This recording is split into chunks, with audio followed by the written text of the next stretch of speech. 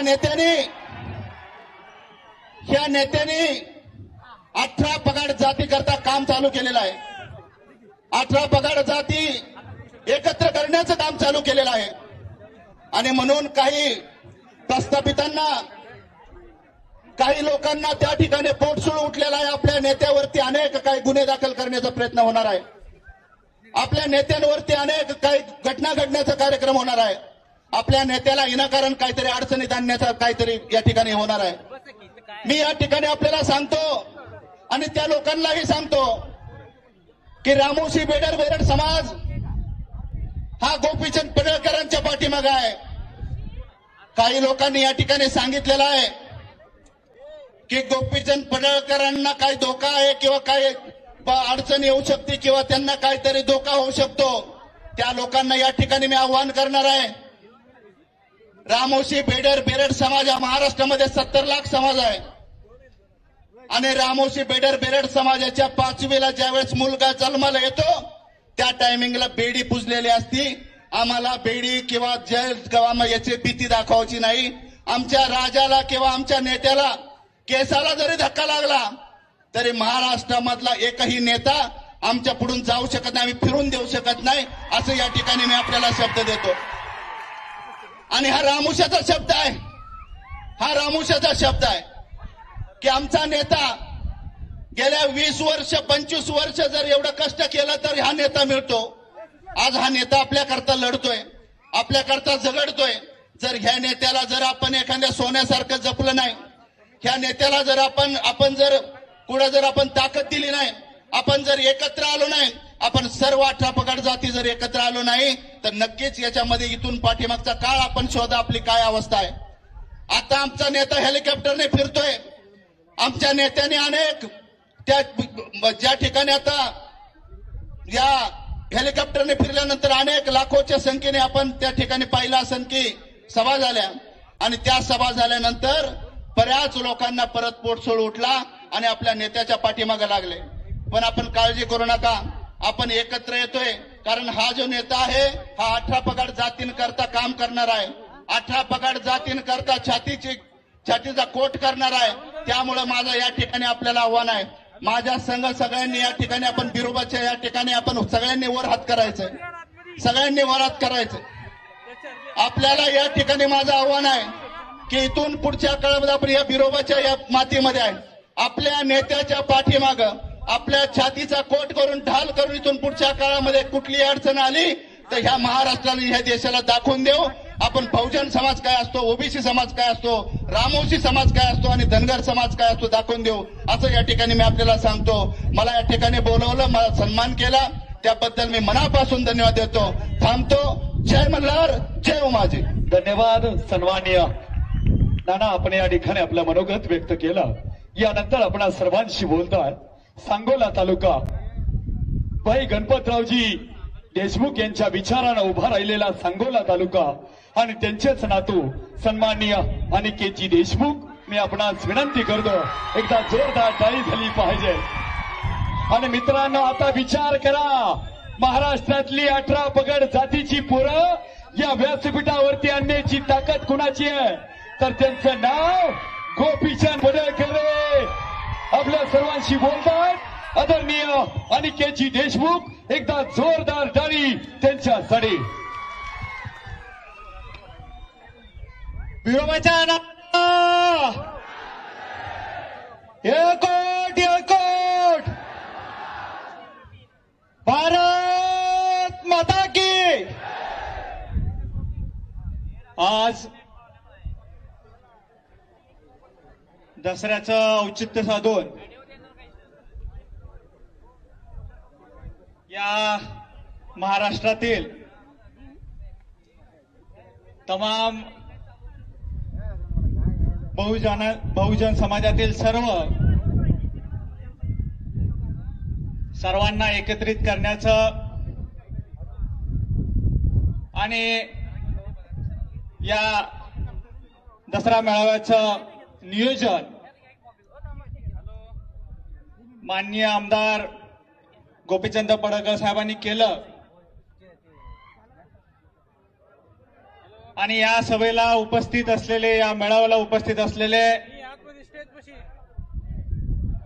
महाराष्ट्राच्या कानाकोपऱ्यातून आलेले सर्व बहुजन समाजातील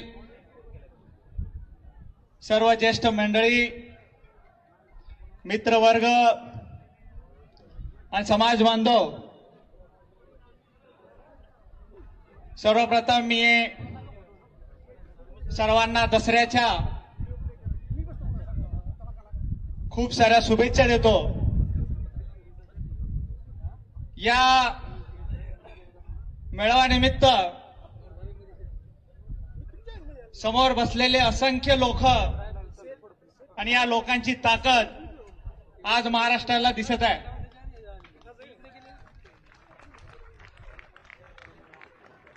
मला आनंद वाटतो की या ऐतिहासिक क्षणाचा मी एक भागीदार आहे. आणि मी संयोजक समितीलाही आभार व्यक्त करतो की त्यांनी आम्हाला बोलवलं आणि दोन शब्द बोलायची संधी दिली. या इतिहासापासून स्वराज्य निर्मितीपासून या स्वतंत्र आधुनिक भारताच्या चळवळीपर्यंत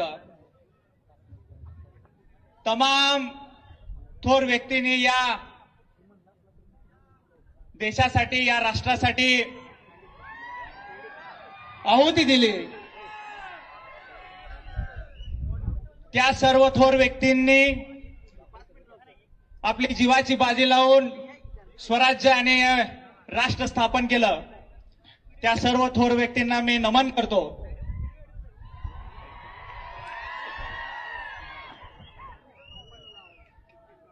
तसेच सांगोला तालुक्याचे भाग्यविधाते आबासाहेब. आज आपल्यात नाही आहेत पण त्यांच्याही स्मृतींना मी अभिवादन करतो. एक समाज बांधव म्हणून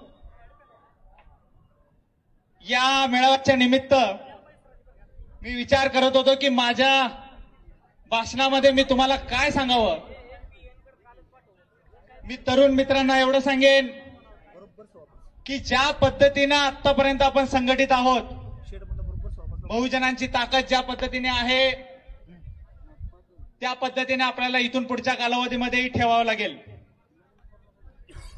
कोणत्याही समाजाला किंवा समाजाच्या एकत्रीकरणाला राजकारण न बघता आपल्यावर होणाऱ्या अन्यायाला वाचा कशी फोडता येईल या दृष्टिकोनातून आपण समाजाची ताकद बघितली पाहिजे.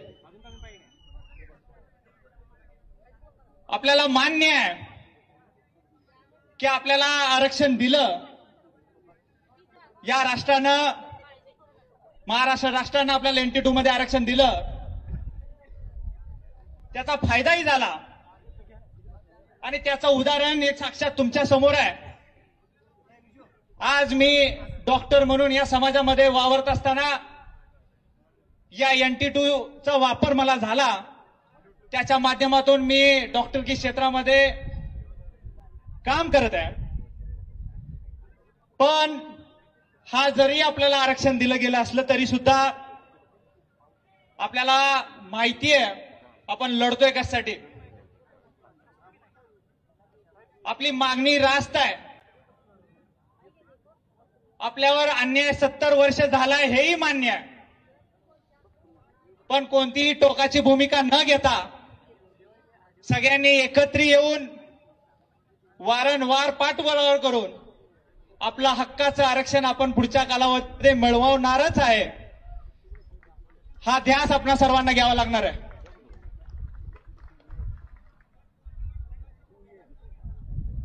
पडळकर साहेबांना विन- मी विनंती करतो. राज्यात आणि केंद्रात आपलंच सरकार आहे.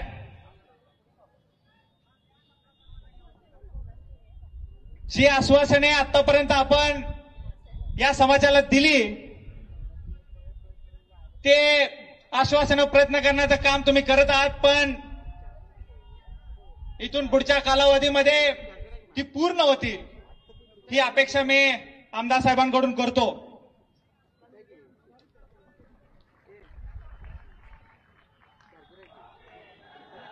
हे करत असताना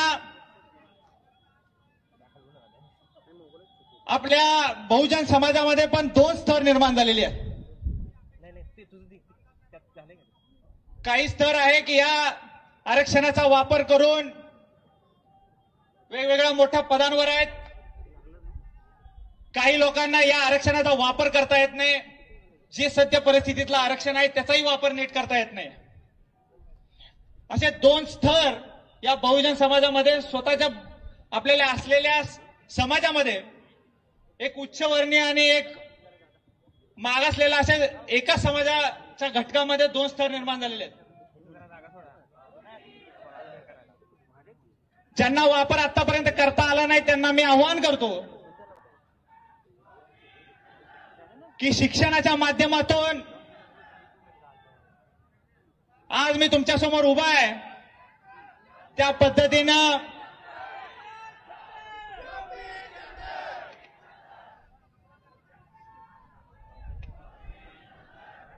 त्या पद्धतीनं जे मागासलेला घटक आहे त्यांनी शिक्षणाच्या माध्यमातून उच्च स्तरावर याचा प्रयत्न करावा. काय अडचण आली तर आमच्यासारख्या जे समाजकारण आणि राजकारण करत असतात त्यांच्या माध्यमातून कोणतीही मदत लागली तर आमच्याकडून करण्याचा प्रयत्न आम्ही इथून पुढच्या कालावधीमध्ये जसा मागच्या कालावधीमध्ये केलाय त्या पद्धतीने पुढच्या कालावधीमध्येही केला जाईल.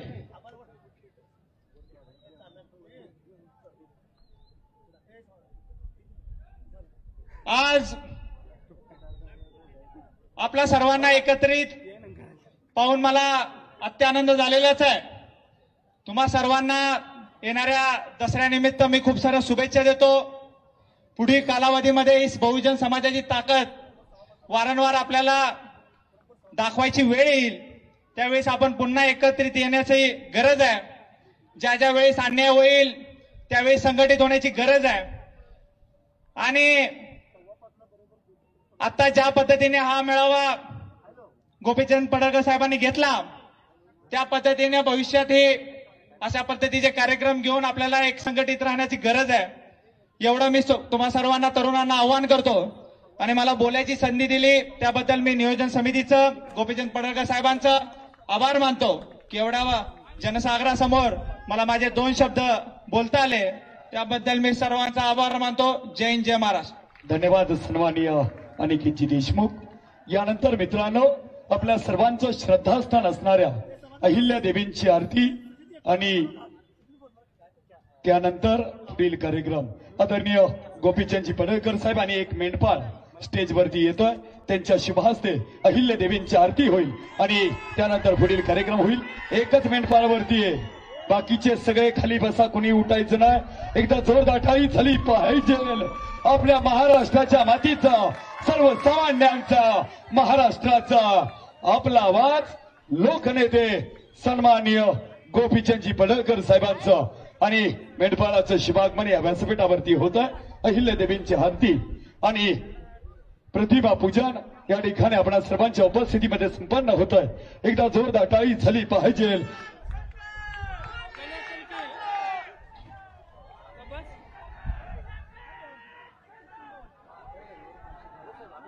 मान्यवर मंडळी आणि मेंढपाळाच्या शुभहस्ते अहिल्या देवींच्या फोटोचं पूजन आणि आरती संपन्न होतीये. मित्रांनो हा बहुजनांचा पोरगा बायाला भिंगरी लावून या महाराष्ट्रामध्ये घोंगडी बैठका करतोय धनगर जागर यात्रा करतोय. आणि म्हणूनच आजचा हा बहुजनांचा महाराष्ट्राच्या मातीतील अठरा पगड जातीचा हा बहुजनांचा दसरा मेळावा आपण पाहतोय. इतका मोठा जनसमुदाय पाहिल्यानंतर आनंद आणि समाधान वाटतंय. बहुजनांची पोरं आता एकसंग होत आहेत बहुजनांची लेकरं आता एकत्र येत आहे कारण बहुजनांच्या पाठीमाग गोपीचंद पडळकर नावाचा वाघ आता आपणा सर्वांच्या पाठीमाग उभा आहे. म्हणून बहुजनांची लेकरं एकसंग होत आहेत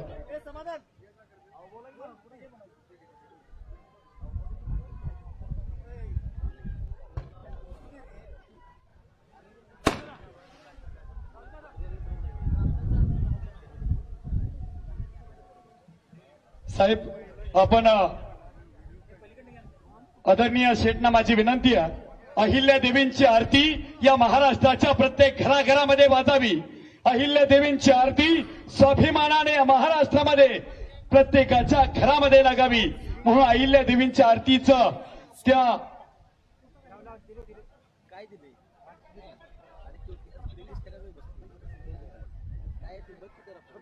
आदरणीय गोपीचंदजी पडळकर साहेब आरतीचं लॉन्चिंग करतायत. ही आरती बहुजनांच्या लेकरांच्या घरामध्ये वाजावी. आणि ही आरतीचं खऱ्या अर्थानं समाज जागृतीचं एक प्रसार माध्यम म्हणून या आरतीचं लॉन्चिंग आज या दसरा मेळाव्याच्या निमित्तानं होत आहे एकदा जोरदार टाळी झाली पाहिजे. आणि आपणा सर्वांच्या भेटीला अहिल्या देवींचं गीत आपणा सर्वांच्या भेटीला येत आहे आरती वाजायला सुरुवात झाल्यानंतर टाळीचा आवाज सुद्धा त्याच तोलामोलानं झाला पाहिजे. आणि ही आरतीचं लॉन्चिंग आपण सर्वांच्या भेटीला येत. हे गीत गायलं. आरतीसाठी आपण सर्वांनी उभं राहायचं आहे हे जागृतीचं अहिल्याच्या लिखींचं आणि हे गीत आपण सर्वांनी उभं राहावं. बालाजीराव वाघमोडे नंदेची उमाम संगीत सन्माननीय समाजांची एवढे कोरस सन्मानी रविकरण जावीर ओमराजी आविष्कार. मिक्स सन्मान्य अवधूतजी वाडकर रिदम ओंकारजी इंगवले रेकॉर्डिंग तुषारजी पंडित पूजा मोरे यांना जावीर आणि सगळी मंडळी. आपण सर्वांनी आरतीसाठी उभं राहायचं आणि हात वरती करून आरतीला टाळ्या वाजवायच्या. करू द्या महाराष्ट्राच्या मातीला अहिल्यांची लेकर आता आरेवाडीच्या बनात एक संघ झालेत. झालाय ना?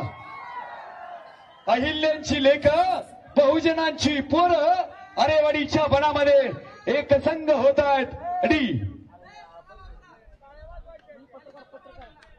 सगळे बाकीचे खाली बसा तुम्ही. डी वन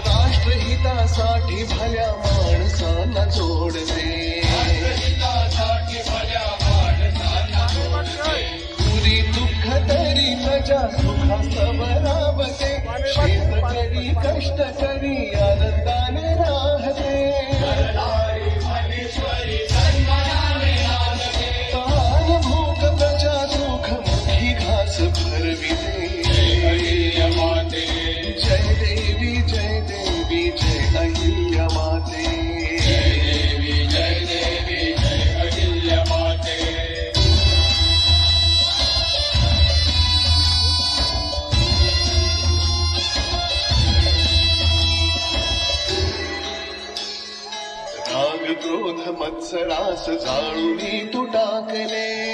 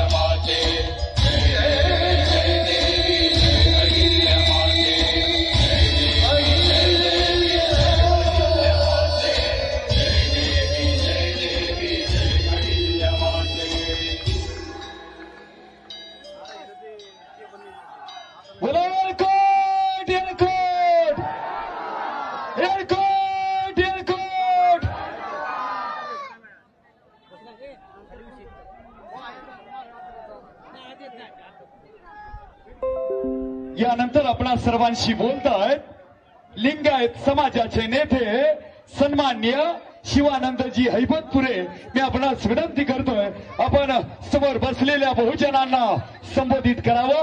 माय माऊली माता भगिनी आपण सर्वांना माझी विनंती आहे आपण सर्वांनी बसावं. आतमध्ये उभी असलेली सगळी मंडळी आपण बसावं आपल्या सर्वांशी बोलतायत सन्मान्य शिवानंदजी हैबतपुरे दुसरी लावली की माता ते दुसऱ्याला बी हिसका बसलाय. आम्ही काय करणार? एकच घोषणा आणि त्यानंतर कमी वेळामध्ये माझं मत मी व्यक्त करतोय. भारत माता की। भारत माता की। जमलेल्या या विराट मेळाव्याला उपस्थित लोकनेते आदरणीय गोपीचंदजी पडळकर साहेब उपस्थित सगळे बांधव माता भगिनी पत्रकार. कमी बॉल खेळायचे आहेत आणि जास्ती रन काढायचं आहे मला. कॅप्टननं सांगितलंय बॉल कमी आहेत आणि रन रेट पण वाढवायचं आहे. कारण ही गोपीचंद पडेकर साहेबाची टीम आहे. रनरेट वाढल्याशिवाय राहणार नाही लक्षात घ्या. कारण अजब रसायन आहे. अरे महाराष्ट्रात दसरा मेळावे किती होतात? कुठे कुठे होतात? महाराष्ट्रात दसरा मेळावे होतात. मुंबईत होतात. इकडे होतात. तिकडे होतात. सगळीकडे होतात पण ते प्रस्थापितांचे मेळावे आहेत. वंचितांचा शोषितांचा पीडितांचा दसरा मेळावा विरोबाच्या वनात या ठिकाणी होतो आहे अरे हा आपला आवाज आहे. आपल्या मातीचा आपल्या हिताचा आपल्या विचाराचा नेता आहे. त्याच्या पाठीशी केवळ धनगर समाज नाही. मी नेहमी सांगत असतो इथे जमलेल्या प्रत्येक माणसाच्या जाती वेगळ्या आहेत. मी महात्मा बसवण्णांच्या विचारावर काम करणाऱ्या लिंगायत परंपरेचा शरण आहे. इथे जमलेल्या प्रत्येकाच्या जाती वेगळ्या आहेत. अठरा जातीचे? बारा बलुतेदार या ठिकाणी आहेत फटके आहेत.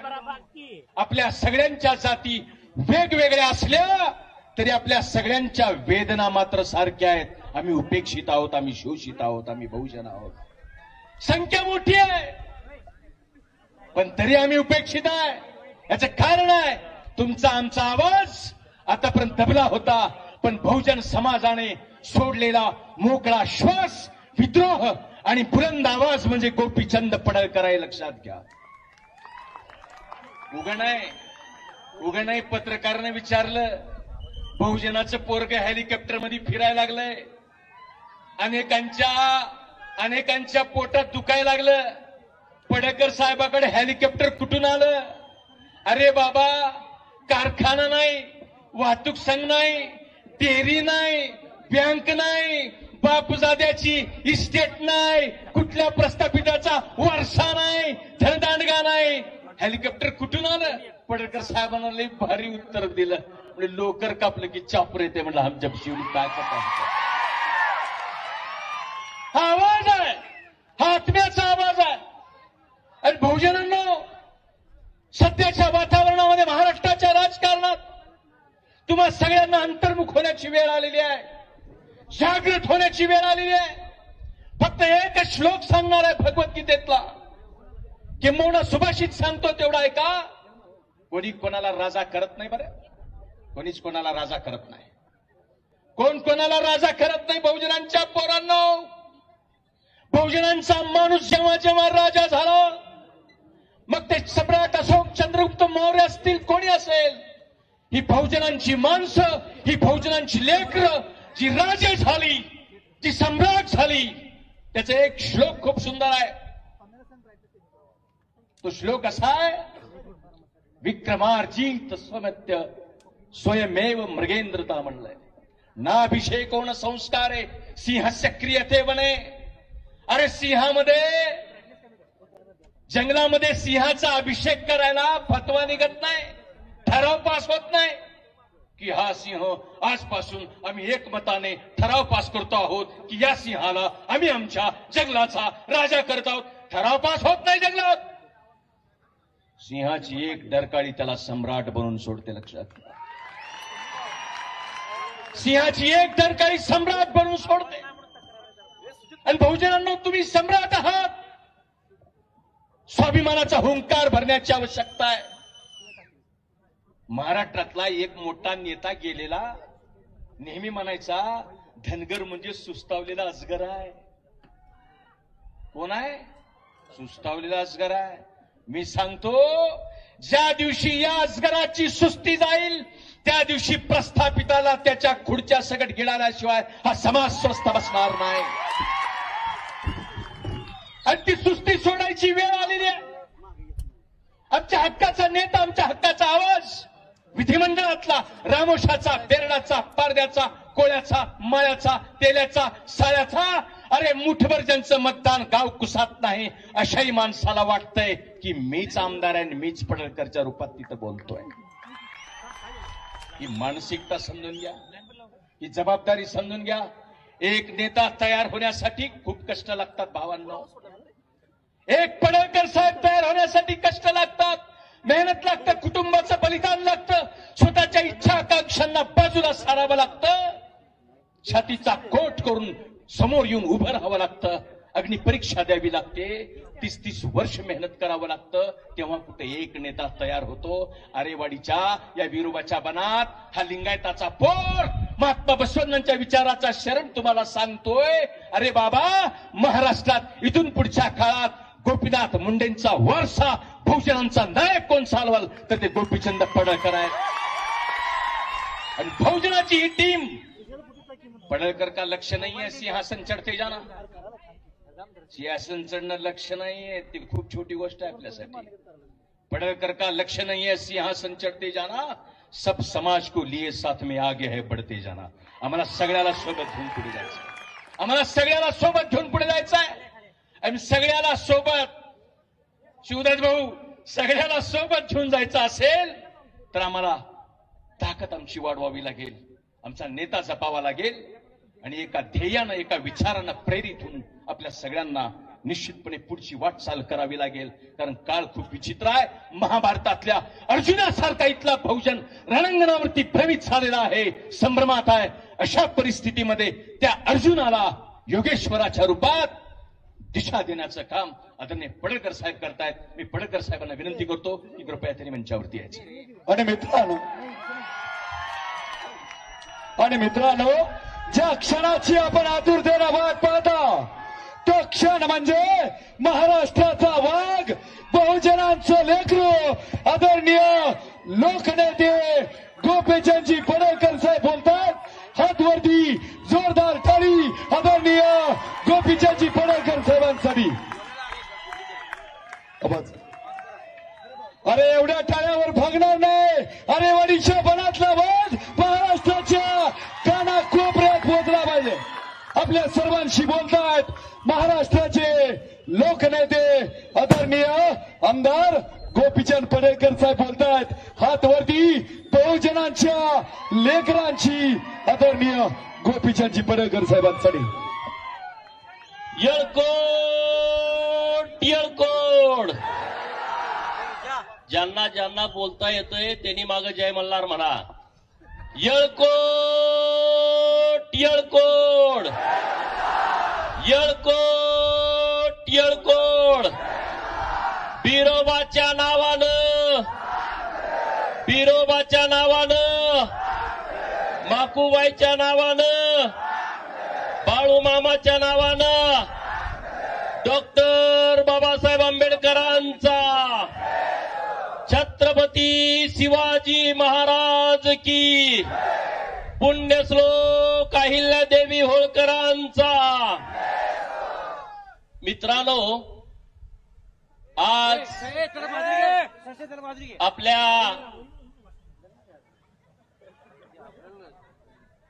बिरोबाच्या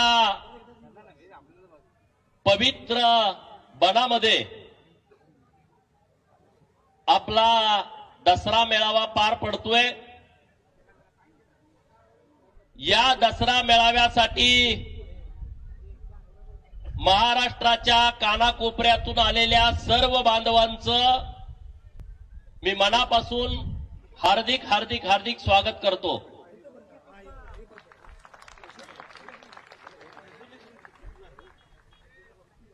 दसऱ्याचा सण म्हणजे बिरोबा भक्तांना दिवाळी असते. आणि पूर्वीच्या काळामध्ये राजे महाराजे जेव्हा युद्धावरती जायचे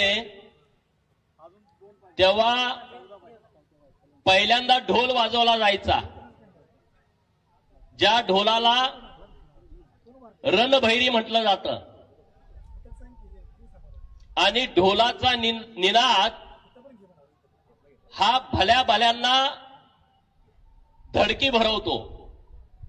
आणि म्हणून महाराष्ट्रातल्या धनगरांनी हा ढोलाचा आवाज गावागावामध्ये वाड्या वस्त्यावरती दऱ्या खोर- खोऱ्यामध्ये केला पाहिजे की जेणेकरून प्रस्थापितांना नेहमी धडकी भरत जाईल.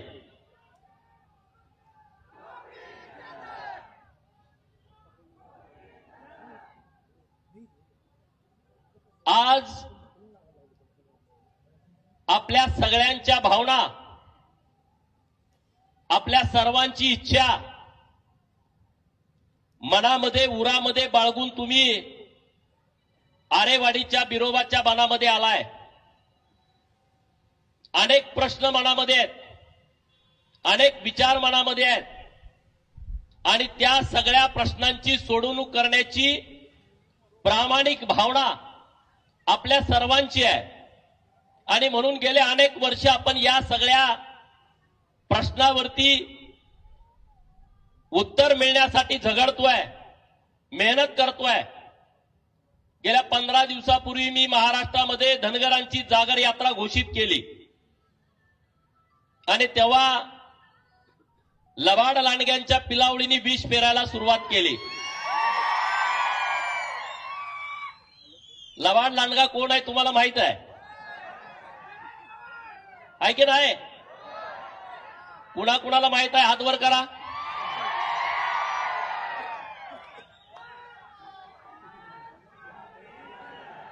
ह्या पिलावळींनी बीज पेरायला सुरुवात केली. की गोपीचंद पडळकर एका बाजूला धनगराच्या आरक्षणाची लढाई मुंबईच्या उच्च न्यायालयामध्ये सुरू आहे असं बोलतोय. तिथं प्रलंबित आहे असं बोलतोय. आणि दुसऱ्या बाजूला धनगरांची जागर यात्रा काढतोय. मला त्या सगळ्या लोकांना सांगायचं आहे त्यांच्या पिलावळींना सांगायचं आहे आपल्याही लोकांना सांगायचं आहे की धनगर समाजाच्या आरक्षणाच्या लढाईमध्ये आपण दोन टप्प्यात चाललोय प्लान ए महाराष्ट्रातल्या धनगरांची आरक्षणाची लढाई आपण न्यायालयामध्ये लढतोय आणि न्यायालयानं आठ डिसेंबर अकरा डिसेंबर आणि पंधरा डिसेंबर या तीन तारखा धनगर समाजाच्या आरक्षणाच्या अंतिम सुनावणीसाठी दिलेल्या आहेत. म्हणजे मी तुमच्यासमोर बोलतोय बावीस ऑक्टोबरला. आता किती दिवस राहिले तुम्ही मोजा की एवढ्या दिवसामध्ये आपल्या आरक्षणाची अंतिम सुनावणी होतीये. आणि उच्च न्यायालयाने हेही सांगितलं की नाताळाची सुट्टी झाल्यानंतर धनगर आरक्षणाच्या केसचा निकाल आम्ही देणार आहे. आणि मला एक लाख टक्के विश्वास आहे. बिरोबाचा आशीर्वाद आहे माकूबाईचा आशीर्वाद आहे बाळूमामाचा आशीर्वाद आहे. आणि गेल्या सत्तर वर्षामध्ये धनगरांच्या वरती जितका अन्याय झाला तितका अन्याय देशातल्या कुठल्याच जातीवरती झाला नाही. आणि त्यामुळं उच्च न्यायालयामध्ये जवळपास माननीय मधु शिंदे यांच्या नेतृत्वाखाली महाराणी अहिल्यादेवी प्रबोधनी विचार मंचनं किमान एकशे सत्तर पुरावे धनगरांच्या बाजूला सादर केलेले आहेत. आणि दुसऱ्या बाजूला राज्य सरकारनं धनगड या राज्यामध्ये अस्तित्वात नाही हे शपथपत्रावरती दिलं आहे दोन हजार एकोणीसला दोन हजार बावीसला आणि दोन हजार तेवीसला सरकारच्या वतीनं पुन्हा दोन शपथपत्र धनगरांच्या बाजूने दिलेले आहेत. म्हणजे जी खरी परिस्थिती होती ती दिलेली आहे. आणि त्यामुळं एक लाख टक्के निकाल हा आपल्या बाजूला लागेल.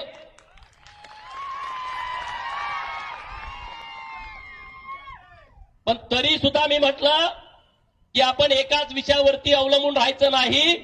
महाराष्ट्रातल्या धनगरांनी रस्त्यावरच्या लढाईला सुद्धा तयार राहिलं पाहिजे. म्हणून महाराष्ट्रभर जागर यात्रेच्या माध्यमातून फिरलो आणि आज लाखोचा समुदाय आपल्या आरेवाडीच्या दसरा मेळाव्याला आला. मी तुमच्या सर्वांचं मनापासून अभिनंदन करतो.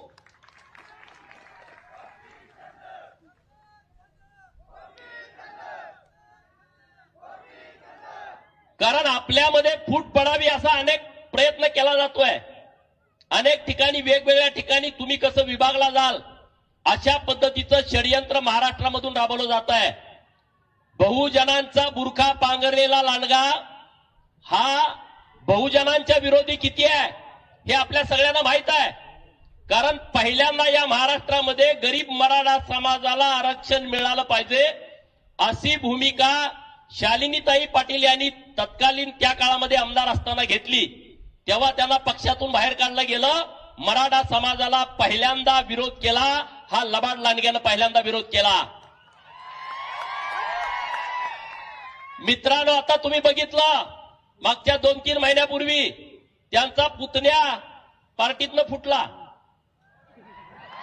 फुटला की नाही? आता त्याचा पुतण्या पार्टीतनं फुटला. यामध्ये दुसऱ्याचा काय दोष आहे? हे सगळेजण छगन भुजबळांच्या विरोधामध्ये शिव्याशाप द्यायला लागलेत. बघितलं तुम्ही मीडियामध्ये? फुटला याचा पुतण्या आणि लागले कुणाच्या माग छगन भुजबळांच्या. का? हा माळी समाजाचा माणूस आहे गरीब समाजातला माणूस आहे. तर ह्यांच्या पाठीमागं लागायचं. पहिल्यांदा समता परिषदेमध्ये त्यांनी जे मोठं महाराष्ट्रामध्ये चळवळ उभा केली होती बहुजनांना एक करण्याची आणि या लांडग्याला माहीत आहे बहुजन जर एक झाले तर महाराष्ट्रामध्ये काय होऊ शकतं? म्हणून समता परिषदेला दाबायचा प्रयत्न झाला. डॉक्टर बाबासाहेब आंबेडकरांनी स्थापन केलेला रिपब्लिकन पार्टी ऑफ इंडियाचे तुकडे तुकडे तुकडे केले. त्याच्यानंतर संघर्ष योद्धा माननीय गोपीनाथरावजी मुंडे साहेब या महाराष्ट्राच्या मुख्यमंत्री पदावरती विराजमान झाले असते. परंतु काही आमदारांना फूस लावली आणि माननीय गोपीनाथरावजी मुंडे साहेबांना मुख्यमंत्री पदापासून वंचित ठेवला. बंधारी समाजाचा पहिल्यांदा मुख्यमंत्री महाराष्ट्रामध्ये सांगितलं. आणि परत ते म्हणले हळूच धनगड आणि धनगराच्या बाबतीमध्ये नेमकं काय आहे? तर मधु शिंदे साहेबांनी सगळी परिस्थिती सांगितली की राज्यातल्या सगळ्या आम्ही तहसीलदारांच्याकडून लिहून घेतलंय सगळं झालं. अहो नाही मला एकोणीसशे एक्क्याऐंशी ला एक धनगड गडचिरोलीमध्ये भेटला होता. हे पिल्लू असं बोलतोय. म्हणजे मधु शिंदेला बोललाय मी काही स्टोरी तयार करून तुम्हाला सांगत नाही. एक धनगड मला एकोणीसशे एक्क्याऐंशी ला गडचिरोलीमध्ये भेटला. असं पवारांनी माननीय मधु शिंदेना सांगितलं. मधु शिंदे साहेब म्हणले एका माणसाला कुठं आरक्षण दिलं जातं का? एका माणसाची जात त्याला काय बायको त्याला पोरं काय आहे का नाही? त्याला बाप त्याला आई त्याला आजोबा त्याला पंजोबा त्याला मामा त्याला मामी ही काही नाती गोती आहेत का नाही? आणि मग गरीब नाही नाही नाही, मी ते नुसतं बघितलं होतं. म्हणजे विष कसं पेरायचं ते ह्या सगळ्या माणसाकडून आपण शिकलं पाहिजे. म्हणजे बघितलं पाहिजे कशा पद्धतीनं हे विष पेरतात आणि त्यातून आपण काहीतरी शिकलं पाहिजे. म्हणजे मी त्यांच्याकडून शिकलं पाहिजे हे शब्द बाजूला काढून टाका की आपण त्याच्यातून काहीतरी शिकलं पाहिजे मित्रांनो. मी उगाच त्यांच्या विरोधात बोलत नाही. इकडे चौंडीला आमचं उपोषण सुरू होतं. तिकडं लेख आणि नातू गेला की धनगरांना आरक्षण मिळालं पाहिजे. आणि तिकडे एक ऑक्टोबरला आदिवासी हक्क परिषद होती. त्यामध्ये जाऊन तिथं बाजू काय मांडतायत? की आदिवासीमध्ये आम्ही कुणालाही येऊ देणार नाही. माननीय शरद पवार. एक ऑक्टोबरला तुम्ही बघितलं का? अरे काय धनगर आता एवढा येडा राहिलाय का? राहिलाय का? स्वतःची काय बुद्धी आहे का नाही आपल्याला? आहे की नाही? अरे मोठ्यानं आवाज येऊ द्या. अरे आता परिस्थिती पूर्णपणे बदलली आहे. लोक सगळी जागृत झाली आहेत. लोकांच्याकडे सोशल मीडिया आला. लोकांच्याकडे व्हॉट्सअप फेसबुक ट्विटर आलं. मेंढका सुद्धा ट्विटरवरती कमेंट करायला लागला. मेंढका ट्विटरवरती बोलायला लागला. आता अशी परिस्थिती झालेली आहे. आता लोकांना लबाड बोलून चालणार नाही. लोकांना फसवून चालणार नाही. आणि म्हणून तुम्हा सगळ्यांना माझं आव्हान आहे की आपल्याला संघटित यावं लागल. आपल्याला एकत्रित यावं लागल. धनगर आणि धनगडांचा विषय आहे. एकोणीसशे नव्वदला जर धनगर आणि धनगरांचा विषय मुख्यमंत्री शरद पवार असताना जर मिटवला असता तर आज आपल्याला महाराष्ट्रामध्ये संघर्ष करावा लागला नसता तो दोन हजार एकोणीसला देवेंद्र फडणवीसांनी मिटवला की धनगड राज्यामध्ये अस्तित्वात नाही आहे तो धनगर आहे. हे शपथपत्रावरती लिहून दिलं मित्रांनो. हे नव्वदला व्हायला पाहिजे होतं. नव्वदला जर एनटीच्या ऐवजी एसटी नोटिफाय आपण झालो असतो तर पंच्याण्णव नव्याण्णव दोन हजार चार दोन हजार नऊ दोन हजार चौदा आणि दोन हजार एकोणीस. किती निवडणुका झाल्या बघा. एवढ्या निवडणुकामध्ये किमान तुमचे प्रत्येक निवडणुकीमध्ये पस्तीस आमदार गेले असते.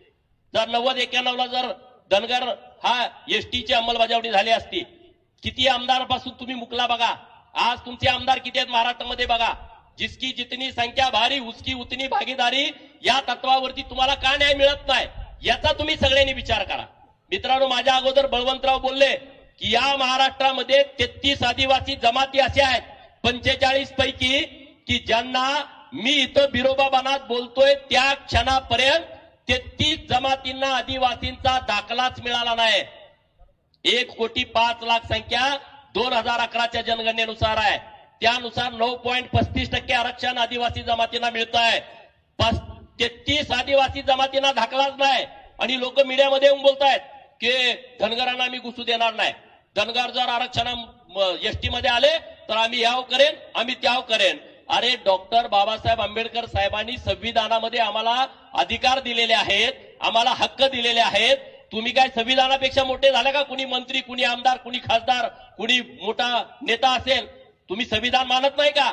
अरे आम्ही संविधानाच्या हक्कानं अधिकारानं महाराष्ट्रातल्या धनगराच्या आरक्षणाची अंमलबजावणी मागतोय आणि त्याच्या विरोधामध्ये कोणी जरी आला तर त्याला तुडवून जाण्याची आमची सगळ्यांची भूमिका आहे.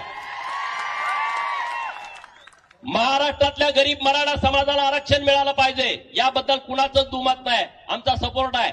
अरे तुम्ही मागच्या अडीच वर्षामध्ये महाराष्ट्रातल्या गरीब मराठा समाजाला दिलेल्या योजना तुम्ही बंद केल्या. अण्णासाहेब पाटील आर्थिक विकास महामंडळा तुम्ही बोडीत काढला. अडीच वर्ष एकाही मराठा समाजाच्या मुलाला तुम्ही कर्ज दिलं नाही. सारथीला पैसे दिले नाही. महाज्योतीला पैसे दिले नाहीत. हे सगळे प्रकार तुमच्या काळामध्ये घडले. मित्रांनो ही सगळी परिस्थिती आपल्याला विचार करणारी परिस्थिती आहे. आणि म्हणून आपल्यामध्ये सगळ्यामध्ये जागृती पाहिजे. आपल्या महिलांना सगळ्यांना पुढे केलं पाहिजे. महिलांच्या हातामध्ये आपण नेतृत्व दिलं पाहिजे. आज एवढ्या मोठ्या संख्येनं आपण उपस्थित आहे आणि महिलांची संख्या किती आहे आपल्या या कार्यक्रमामध्ये? अरे आपण लिडरशिप महिलांच्याकडे देणार आहे की नाही देणार? नेतृत्व महिलांच्याकडे देणार आहे की नाही देणार? त्यांना तुम्ही अधिकार देणार आहे की नाही देणार? एक पुण्यश्लोक आईला देवी या शिकल्या राजकर्त्या झाल्या प्रशासन त्यांच्या हातात आलं तर त्यांनी पिढ्यान पिढ्याचा उद्धार केला. एक अहिल्या देवीनी. अडीचशे वर्षानंतर सुद्धा आपण त्याचं नाव घेतोय त्यांचे गोडवे गातोय. एक अहिल्या देवीनी राज्यकारभार हातात घेतल्यानंतर या देशातल्या मंदिरांचा जीर्णोद्धार केला. तिथल्या उद्योगधंद्यांना त्यांनी प्राधान्य दिलं. महेश्वरी साडी त्यातलं एक उदाहरण आहे. आज अडीचशे वर्षानंतर सुद्धा महेश्वर साडी हे जगामध्ये जाते. हे पुण्यश्लोक अहिल्या देवींचं काम आहे मित्रांनो. आणि म्हणून आपण आपल्या महिलांना पुढे केलं पाहिजे. केंद्र सरकारनं नरेंद्र मोदीजींनी काय योजना आणल्यात महिलांच्यासाठी? त्या योजना तळागारापर्यंत पोहोचल्या पाहिजेत. त्या योजना लोकांच्या पर्यंत गेल्या पाहिजेत. गावगाड्यातल्या महिलांना त्याचा मोठ्या प्रमाणात फायदा झाला पाहिजे. याचं सगळं नियोजन आपल्याला पुढे करावं लागेल मित्रांनो. त्याशिवाय आपल्याला काही मिळणार नाही. आणि म्हणून मी तुम्हा सगळ्यांना विनंती करतोय मी तुम्हा सगळ्यांना आवाहन करतोय की धनगर आरक्षणाच्या बाबतीमध्ये आपल्याला ताकदीनं पुढे जावं लागेल. आज बावीस तारीख आहे. एकवीस डिस- सप्टेंबरला आपली मिटिंग झाली होती मंत्रालयामध्ये. त्या दिवसापासून मी या क्षणापर्यंत बोलतोय तोपर्यंत सरकारनं एक सुद्धा कागद हलवलेला नाही. एक सुद्धा अजून निर्णय केलेला नाही. अजून कमिटी नेमलेला आहे ती कमिटी बाहेरच्या राज्यात जाणार आहे. मी काय त्यांना जी आर दिलेत? परवा माननीय मुख्यमंत्री उपमुख्यमंत्री महोदयांना भेटून छत्तीसगडचा जी आर दिलाय. की हा जी आर बघितल्यानंतर महाराष्ट्रातल्या धनगरांना राज्य सरकारच अंमलबजावणी करू शकतं. हे इतके सगळे जी आर दिलेले आहेत. परंतु अजून काही हालचाल नाही. मी आपल्या माध्यमातून सरकारला सांगतो की ताबडतोब तुम्ही कमिटी जाहीर करा आणि ती कमिटी छत्तीसगड बिहार मध्य प्रदेश आणि तेलंगणा सरकारकडं ही माहिती घेण्यासाठी पाठवा. ताबडतोब पाठवा. कारण तुम्ही आता वेळ दिली साठ दिवसाची आणि आज एकतीस दिवस झाले. एकोणतीस दिवस सरकारच्या हातामध्ये आहे. एकोणतीस दिवसानंतर महाराष्ट्रातला धनगर समाज परत रस्त्यावरती उतरला तर त्याला जबाबदार सरकार असेल त्याला जबाबदार धनगर समाजातलं कुणी असणार नाही. बरोबर का चुकीचं आहे? बरोबर आहे का चुकीचं आहे? आणि म्हणून सरकारनं जे काय आम्हाला दिलं ते आम्ही मान्य केलं. की धनगडांचा तुम्ही सर्टिफिकेट दिला. धनगर सम- धनगर समाजाच्या बाबतीमध्ये दोन अफिडेव्हिट दिली. पुण्यश्लोक अहिल्या देवीला च्या नावानं सोलापूरच्या विद्यापीठाला नाव देवेंद्र फडणवीसांनी दिला. माननीय मुख्यमंत्री आणि उपमुख्यमंत्री महोदयांनी एकतीस मेला चौंडीमध्ये अहमदनगर जिल्ह्याचं नाव बदलून पुण्यश्लोक अहिल्यादेवी नगर करण्याची घोषणा केली. तर त्यांचं मी अभिनंदन करतो. पण सरकारकडे मी मागणी केली. जेव्हा आपली मिटिंग झाली तेव्हा सरकारकडे काही मागण्या केल्या. त्यामध्ये आपली जी केस चालू आहे त्यामध्ये कुंभकोणी साहेबांची कायम नियुक्ती करावी अशी आपल्या सगळ्यांची मागणी होती. ती सरकारनं मान्य केली. दुसरी आपण मागणी केली की या राज्यामध्ये दहा हजार कोटींची तुम्ही घोषणा केली मेंढपाळांच्यासाठी तर त्याच्याबद्दल जिल्ह्या जिल्ह्याच्या सगळ्या संस्था स्थापन झाल्या. तर आता त्याच्याबद्दल तुम्ही महाराष्ट्राचं फेडरेशन तयार करून त्याचा अध्यक्ष लवकरात लवकर डिक्लेअर करा. म्हणजे धनगर समाजाची ती योजना तळागाळापर्यंत जाईल. तिसरी मागणी आपण मेंढपाळांच्या बाबतीमध्ये. अरे मेंढपाळांना कुणी मारतं? कुणी मारझोड करतं? मेंढपाळांना इकडे येऊ नका तिकडे येऊ नका. मोठा अन्याय अत्याचार करतं. तर त्याच्यासाठी स्वतंत्र कायदा तयार करावा.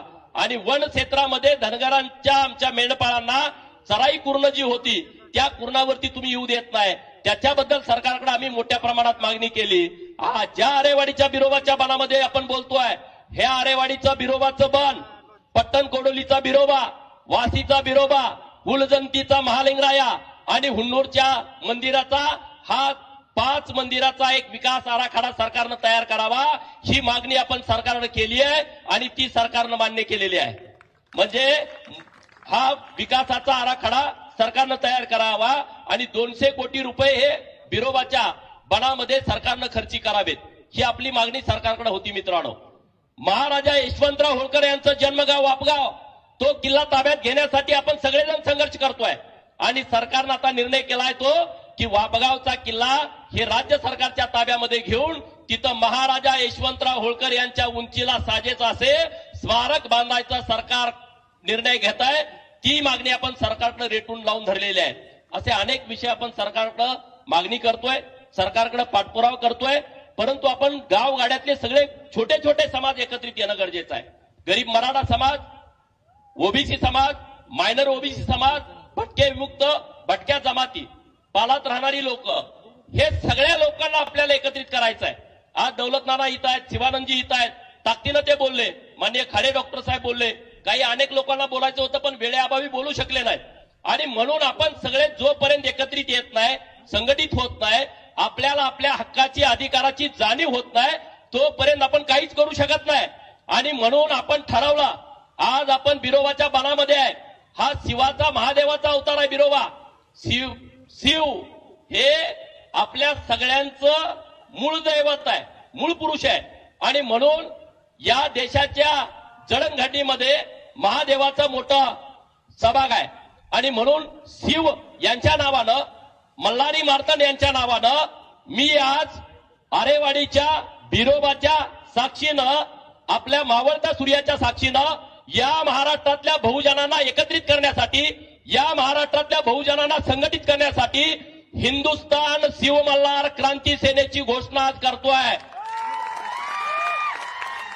की ही अराजकीय संघटना असेल पण महाराष्ट्रातल्या बहुजनांच्यासाठी काम करेल बहुजनांना जोडण्यासाठी काम करेल बहुजनांना एकत्रित करण्यासाठी काम करेल त्यांना अन्यायाला वाचा फोडण्यासाठी काम करेल. यासाठी ही शिवमल्हार सं- सेना महाराष्ट्रामध्ये मोठ्या ताकदीनं काम करेल. येत्या महिन्या दोन महिन्यामध्ये ह्याची पूर्ण आपण रचना करू. याच्यासाठी आपण सगळी सिस्टीम व्यवस्थितपणे लावू. मुंबईमध्ये त्याचं ऑफिस असेल त्यामधून काम कसं करायचं कशा पद्धतीनं करायचं याचं व्यवस्थितपणे आपण प्लॅनिंग करू. महाराष्ट्रातल्या सगळ्या लोकांना तुम्हाला मान्य आहे का हे? मान्य आहे का? सगळ्यांचा सपोर्ट आहे का? हात वर करून सांगा. की आपली एक अराजकीय संघटना असावी असं कुणा कुणाला वाटतंय त्यांनी दोन्ही हात वर करा. नाव योग्य आहे का? हा? आणि त्यामुळं ही संघटना मोठ्या प्रमाणात काम करेल. मेंढपाळांच्यासाठी संत बाळूमामा मेंढपाळ संघटना ही मी आज घोषित करतोय. ही संघटना फक्त फक्त मेंढपाळांच्यासाठी काम करेल. सोशल मीडियाचं काम आपल्या जोरात चालू आहे. तर हे आपल्याला व्यवस्थितपणे इथून पुढच्या काळामध्ये महाराष्ट्रात आपल्याला या सगळ्या विषयामध्ये जायचं आहे मित्रांनो. आणि म्हणून धनगर समाजाच्या आरक्षणाच्या लढाईमध्ये आपल्याला सहभाग घ्यावा लागेल. आपल्याला ही लढाई तीव्र करावी लागेल. एकवीस सप्टेंबरला आपली बैठक पहिली बैठक झाली. आज बावीस ऑक्टोबर आणि एकवीस नोव्हेंबरला साठ दिवस पूर्ण होत आहेत. आणि म्हणून जर साठ दिवसाच्या आतमध्ये सरकारनं ही कमिटी पाठवून अहवाल जर नाही आणला तर एकवीस नोव्हेंबरला आपण महाराष्ट्रातल्या सगळ्या तहसीलदारांच्या समोर एक मोर्चा काढायचा आहे. बरोबर का? एकवीस नोव्हेंबरला मंगळवार आहे. आपण महाराष्ट्रातल्या सगळ्या तहसीलदारांच्या समोर मोर्चा काढू. आणि अधिवेशन सुरू होत आहे सात डिसेंबरला. सात डिसेंबरला गुरुवार आहे. शुक्रवार शनिवार रविवार. सोमवारी अकरा डिसेंबरला महाराष्ट्रातल्या धनगरांचा एसटी आरक्षणासाठी नागपूरला विधान भवन घेरण्यासाठी लाखोच्या संख्येनं आपल्याला जायचं आहे. जमेल का तुम्हाला? जमेल का सगळ्यांना? नाहीतर मी एकटाच बोलतोय असं व्हायचं. सगळे ताकदीनं या बाहेर पडा. अरे दादा ताई साहेब ह्या भानगडीतनं बाहेर पडा. फाईव्ह जीचा जमाना चालू आहे. नेट कुठला आहे तुमच्याकडे आता? हा? फाईव्ह जीच्या जमान्यात तुम्ही एसटेड्या ह्या ज्या आहेत डबडे ते बाजूला टाका. एस म्हणजे साहेब टी म्हणजे ताई आणि डी म्हणजे दादा या एसटीडीच्या गुलामगिरीतून तुम्ही सगळे बाहेर पडा. इंग्रजांच्या काळामध्ये जशी गुलाम करण्यासाठी काही व्यूहरचना केली होती तशी हे प्रस्थापितांनी व्यूहरचना केल्या. साहेब ताई दादा हे बंद करा. याच्या मागं फिरणं बंद करा. अरे बी के कोकरे साहेबांनी यशवंत सेना कशासाठी स्थापन केली होती? या महाराष्ट्रातला प्रमुख प्रस्थापित पवारांच्या विरोधात लढण्यासाठी. केलती का नाही बरोबर? हा? महाराष्ट्राच्या दऱ्याखोऱ्यामध्ये बी कोकरे साहेब फिरले. अरे आता आपल्याकडे सगळ्या सुविधा आहेत. आता आपल्याकडे गाड्या आहेत. आपल्याकडे सगळी यंत्रणा आहे. त्या काळामध्ये ते वर्गणी गोळा करायचे. आरेवाडीच्या बनात यायचे. बोकडं कापल्यानंतर कातडं ते वर्गणीमध्ये मागायचे. सगळे पुजारी त्यांना माहीत आहे. लोक कातडं त्यांना द्यायची. आणि ते कातडं विकून ते चळवळ उभा करायचे. अरे मित्रांनो यशवंत सेनेची स्थापना का केली होती बीके कोकरे साहेबांनी? या प्रस्थापितांच्या विरोधात लढण्यासाठी आज त्या पवारांच्या सांगण्यावरून यशवंत सेना चालते याचं मला खूप दुःख वाटतं. वाईट वाटतं या सगळ्या गोष्टीचं. तुम्ही सगळ्यांनी या महिन्या दोन महिन्यातल्या सगळ्या प्रक्रिया बघितल्या. मी बिरोबाच्या चरणी प्रार्थना करतो आमच्या या सगळ्या युवा पोरांना सुबुद्धी दे चांगली बुद्धी दे की या प्रस्थापितांच्या विरोधात लढण्यासाठी यशवंत सेनेचा मोठ्या प्रमाणात वापर झाला पाहिजे मित्रांनो. नाहीतर त्याचा काही उपयोग होणार नाही.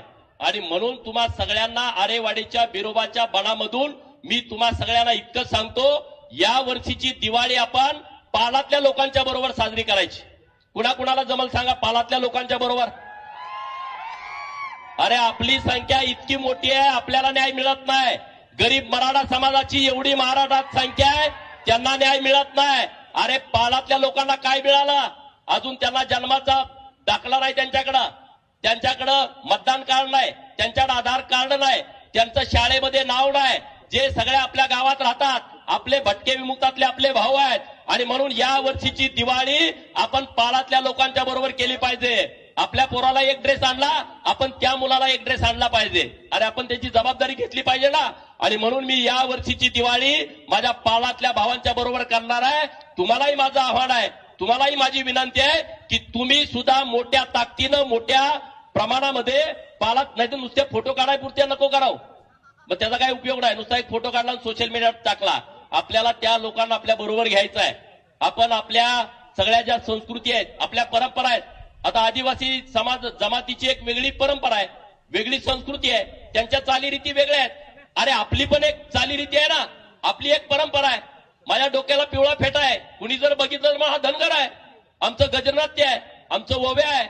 हे आपण जपलं पाहिजे ना? अरे आपल्या कुठल्याही कार्यक्रमामध्ये ओव्या ठेवल्या पाहिजेत. कुठल्याही कार्यक्रमामध्ये गजी ढोलाचा कार्यक्रम ठेवला पाहिजे. लग्नामध्ये ते काहीतरी फ्री शूट आलंय काहीतरी. लग्ना अगोदर ते नवरा बायको फोटो काढतेत. आणि मला काय काय आमची मुलं दाखवतेत की लग्नाच्या अगोदर धनगरी फेटा खांद्यावरती घोंगडं आणि हातामध्ये काठी असं शूट करणारे फोटो बघित मला त्यांचा खूप अभिमान वाटतो. तुम्ही पण हे केलं पाहिजे ना सगळ्यांनी. अरे आज जर सगळे डोक्याला पिवळे फेटे बांधून आला असता तर काय बिघडलं असतं? बरं वाटलं असतं ना? आपली जी परंपरा आहे आपली जी संस्कृती आहे आपण किती जरी मोठं झालं तर त्याचं आपण जतन केलं पाहिजे. त्याच्यासाठी आपण प्रयत्न केला पाहिजे. हे सगळं काम आपल्याला हातामध्ये घ्यायचं आहे मित्रांनो. हे सगळं काम तुम्ही हातामध्ये घ्या. आज महाराष्ट्रामध्ये जी परिस्थिती निर्माण झालेली आहे ज्या परिस्थितीतून जर मार्ग काढायचा असेल तर आपल्या सगळ्यांना एकत्रित यावं लागेल आपल्या सगळ्यांना संघटित व्हावं लागेल. धनगर समाजाच्या आरक्षणाची लढाई जिंकल्याशिवाय तुम्हाला काहीच करता येत नाही. काहीच करता येत नाही मित्रांनो. आणि त्यासाठी संघर्ष करावा लागेल. ते काय असं सिंहासन तुम्हाला मिळणार नाही. महाराजा यशवंतराव होळकर यांनी संघर्ष करून सिंहासन मिळवलं होतं. प्रस्थापिताच्या विरोधात लढून विस्थापितांचं सिंहासन त्यांनी तयार केलं होतं. हा आपला आदर्श आहे. छत्रपती शिवाजी महाराजांनी रायरेश्वराच्या मंदिरामध्ये स्वराज्य निर्माण करताना रक्ताभिषेक केला होता. ते शिवजीचं मंदिर होतं ते महादेवाचं मंदिर होतं. छत्रपती शिवाजी महाराजांनी महादेवाच्या पिंडीवरती रक्ताचा अभिषेक केला. म्हणून आपल्या संघटनेला शिवमल्हार नाव आहे मित्रांनो. हे लक्षात ठेवा संघटनेला नाव का दिलंय आपण? हे संघटना आपल्याला महाराष्ट्रामध्ये इतक्या मोठ्या प्रमाणात वाढवायची आहे. या संघटनेच्या माध्यमातून दबदबा तयार झाला पाहिजे. कुणावरती अन्याय करण्याचं कुणाचं धाडच झालं नाही पाहिजे. इतकी ताकद या संघटनेमध्ये आहे. आणि म्हणून गावागावामध्ये याच्या शाखा आपल्याला येत्या काही काळामध्ये उभा करायच्या आहेत. जमल का नाही जमल? अरे महाराष्ट्रातून हजारो गावातून तरुण आलेत. सगळ्या गावात आपल्या शाखा झाल्या पाहिजेत मित्रांनो. आणि म्हणून मी तुम्हाला सांगतोय धनगर आरक्षणाची लढाई ही आपल्यासाठी अंतिम आहे. धनगर आरक्षणाच्या लढाईपासून आपल्याला बाजूला जाता येणार नाही.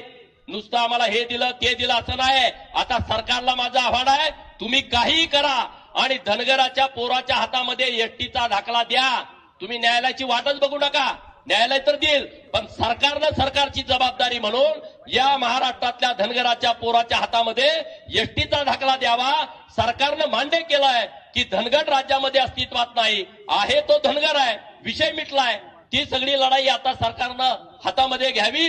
धनगरांच्या सहनशीलतेचा अंत सरकारनं पाहू नये अशी मागणी मी आपल्या आडेवाडीच्या बिरोबाच्या बनातनं दसरा मेळाव्यातनं राज्य सरकारकडे करतो. राज्य सरकार सगळ्याच व्यवस्थितपणे विचार करताय. मराठा समाजाला आरक्षण देण्याची राज्य सरकारची भूमिका आहे. ओबीसीच्या आरक्षणामध्ये त्यांचं जे आरक्षण आहे ते संरक्षित करण्याची राज्य सरकारची भूमिका आहे. अरे मग धनगरांनी काय केलं? धनगरांची अंमलबजावणी तुम्ही करा. राज्य सरकार हे करू शकतं. माननीय एकनाथ शिंदे आणि माननीय देवेंद्रजी फडणवीस साहेब हे करू शकतात. आणि म्हणून आपल्या माध्यमातून सरकारनं माझी विनंती आहे आणि ती विनंती सरकारनं कसल्याही परिस्थितीमध्ये मान्य करावी ही आपल्या सगळ्यांच्या वतीनं राज्य सरकारकडे विनंती आहे. आणि म्हणून धनगर आरक्षणाच्या बाबतीमध्ये कुणी किती राजकारण केला कुणी किती जरी आडवं येण्याचा प्रयत्न केला तर धनगर त्याला बळी पडणार नाही. धनगरांनी हे व्यवस्थितपणे समजून घेतलं पाहिजे मित्रांनो.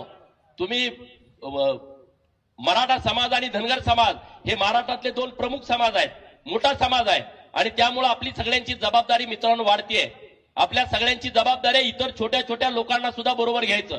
कधी जिथं वेळ पडेल तिथं बाळूमामा व्हायचं आणि गरज पडली तर बापू बिरू व्हायची तयारी आपली सगळ्यांची असली पाहिजे. गरज पडेल तिथं. आपण अन्याय कुणावरती करत नाही. तो आपला स्वभाव नाही मित्रांनो. हे सगळं नीटपणे आपण विषय समजून घ्या. ना काना ना मात्रा. ना काना ना मात्रा. अरे आवाज येऊ द्या. ना काना ना मात्रा धनगर लय खतरा. ना काना न मात्रा. अरे आवाज येऊ द्या. अरे तुमच्यात लढाऊ बाणा आहे का नाही राहिला का नाही? आ?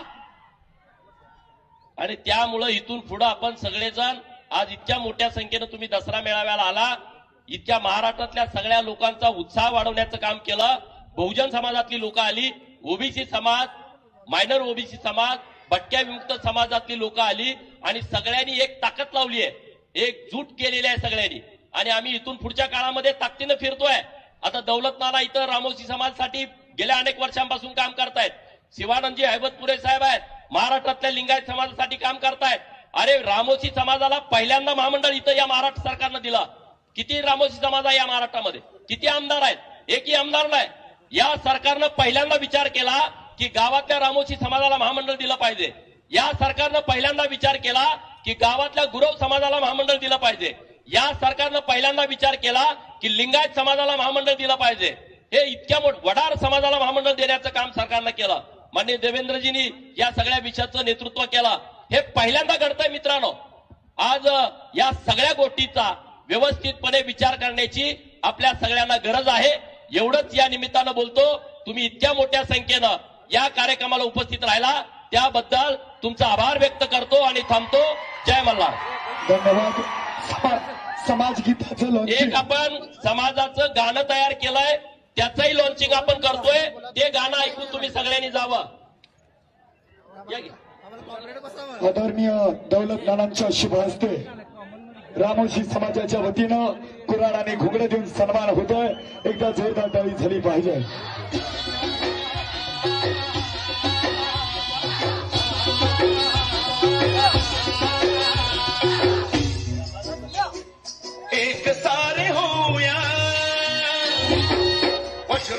to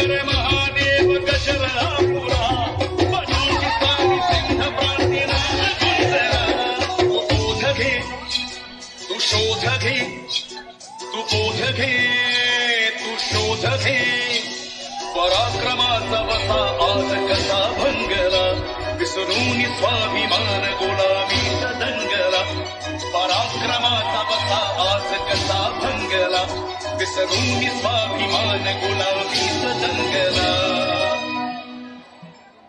मल्हारांचा इतिहास आज पुन्हा हटवूया स्वाभिमानी